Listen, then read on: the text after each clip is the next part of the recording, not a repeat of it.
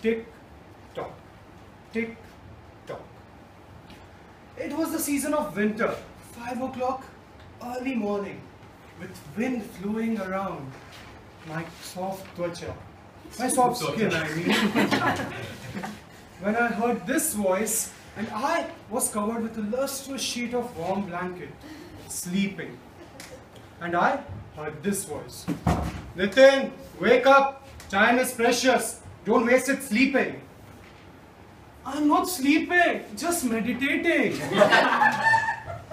the voice which I heard, and you all heard, was of the tallest and the broadest alarm clock in the world, with no snooze button. My dad. Have you all ever meditated in this form when someone tried to wake you up? Good morning, Toastmasters and guests. Good morning. Good morning. This happened in class 10 when all the teachers of my school or private tuitions left me as my level of intelligence or IQ went so high that they all surrendered, making my dad my teacher, my guru. As he became my guru in class 10, he started to tell me this thing every time. Beta, study well in class 10, work very hard, and your life will be settled. As I'm still wondering, seven years after giving class 10, when will my life be settled?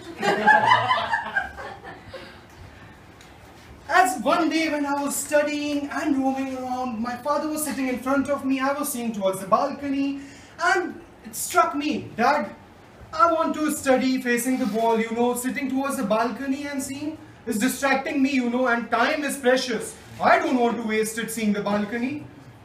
He went in a state of shock, having chest filled with pride. He said, Go sit near the wall and study. As I went across, studying, studying, seeing the depth of the yellow painted wall.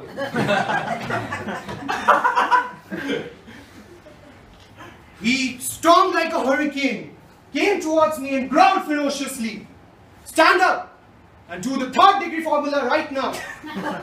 now you all might be wondering what the third degree formula is.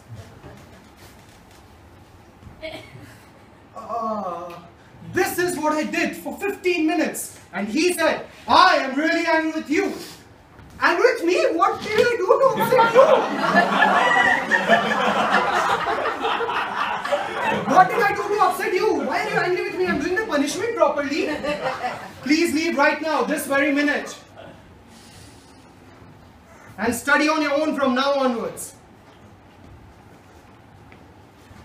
With just 10 days left in the examination of class 10, he left a note covered in a white envelope and I opened it and it read the following. Time is precious. Three months down the line after giving my exams, the results came out and I scored 79%, which was good for me. And I went towards getting admission in St. Lawrence High School and waiting curiously and eagerly for the admission list to come out. List 1 announced. Uh, Nitin Jain, Nitin Jain, Nitin Jain. Not there, list 2 it will be there, all is well, all is well. Nitin Jain, Nitin Jain. um, Not there. List 3, 20 students to be taken. List 3 announced. Uh, no, no, not there. As I went ahead, I saw a senior Rahul and asked him eagerly, Brother, is there a list 4 too? I'm getting short by 2 marks only. And he said, Is your father a trustee? Go try another school. It won't happen this time. As I was walking along the pavement of that beautiful school and a huge play- playground coming across, I saw a poster lying around which had the heading Time is Precious and read the following Imagine there is a bank account that credits your account with rupees 86,400. This amount is given to you for a single day, for 24 hours. It carries no overdraft. It carries no balance around. This bank deletes the amount whichever is not utilized. This bank is with all of us. Each of us present in this room, each of us humans who are around in this world have such a bank which deposits within us 86,400 seconds per day. This bank that we all possess is time.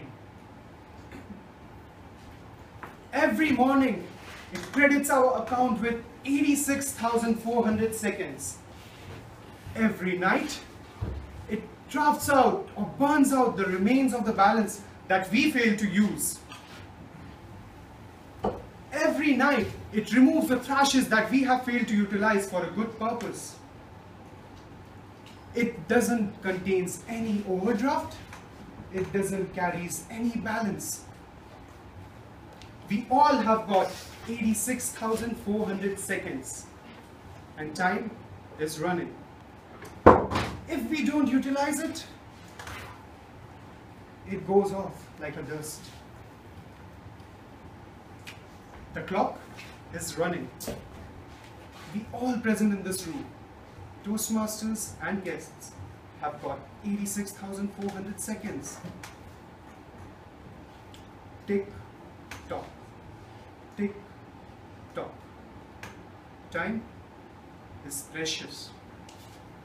Don't waste it. Tick tock, Toastmasters.